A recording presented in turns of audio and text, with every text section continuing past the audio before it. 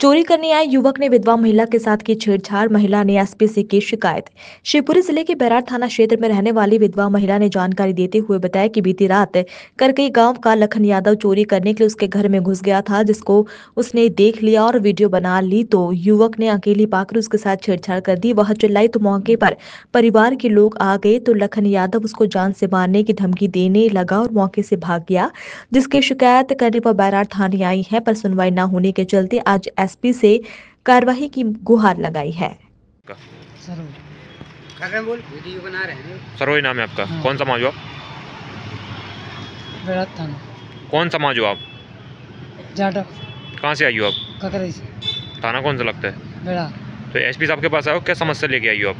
समस्या जो लेके आई थाना में रिपोर्ट करी बेड़ा कोई सुनवाई नहीं करी। क्या हुआ आपके साथ? आपके साथ जो हुआ चोरी हुआ है रात में घर में वीडियो बनी है मन पे। वीडियो बना ली है मन। ने उसने मैं छोड़ छाड़ कर दी रात में। कौन ने की? मेरी। कौन ने की ये?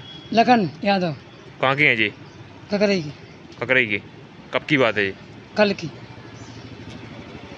और पहले सत्ताईस अट्ठाईस तारीख की और बात है। हम्म। ताल पे उसने मारी भैंस ने पाई प्यार ले गई तो वो भी रिपोर्ट करी थाने में सुनवाई नहीं हुई में सुनवाई नहीं हो रही? हाँ नहीं हुई सुनवाई। तो आप क्या चाहते हो? आप जी चाहती है कि उसको बंद करें हम्म। जेल में। कितने लोग थे जिन्होंने जो चोरी मोरी की? वो तो सर अकेला थी सर। कहाँ के हैं ये रहने वाले कहाँ के? गाँव के ककरे के। वहीं के ही हैं? हम्म, एक ही एक ही लोग। क्या नाम बताया था?